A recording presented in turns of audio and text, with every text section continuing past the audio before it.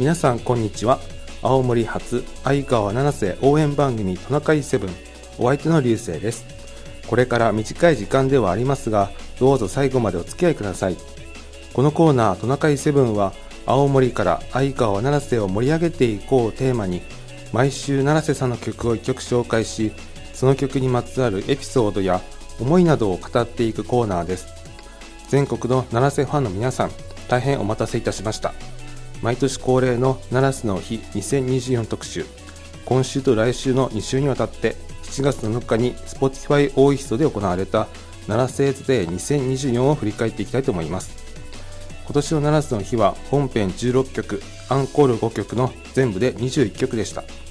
以前 X 元 Twitter で七瀬さんが7月7日で歌ってほしい曲のリクエスト募集をしていましたね。皆さんはどんな曲をリクエストしましたでしょうか？本場のライブでは天使のように踊らせて恋愛体質セブンシーズなどを歌っていました。ちなみにノスタルジアがリクエストで一番多かったそうです。今夜はセットリストの中から2010年の7つの日以来およそ14年ぶりに歌ったこの曲「恋愛体質」をお送りします。それでは聴いてください。相川七瀬恋愛体質。